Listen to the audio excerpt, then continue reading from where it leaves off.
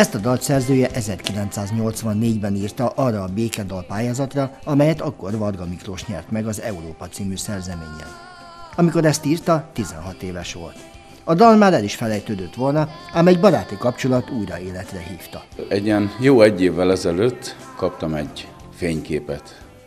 Átküldtek nekem Messengeren egy digitális fényképet, az egyik volt évfolyam társam, tehát akivel nincs is igazán kapcsolatom, nem is volt azóta, tehát nem is találkoztunk x éve, és kérdeztem, mi ez a fénykép.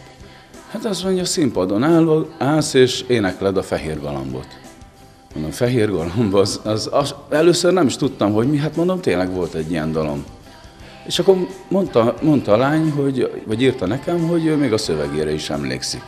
Mondom, tényleg, én meg már nem annyira, és akkor elkezdtem gondolkodni, összeszedtem a szöveget, és akkor arra gondoltam, hogy ha valaki 38 év után ír nekem, hogy ez, ez milyen jó volt, és még emlékszik a szövegére, akkor nem lehet olyan rossz.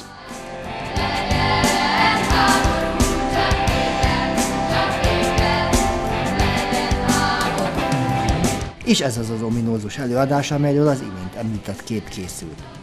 A jelenlegi háborús helyzet aktuálisá tette, hogy a fehér galamb újra felszálljon.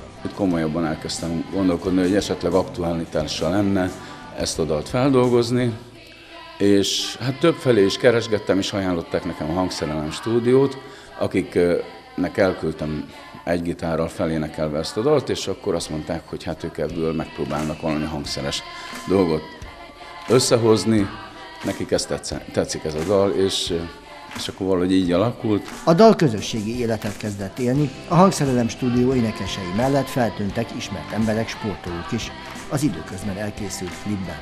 Ezzel is jelezve számukra is fontos a békeügye.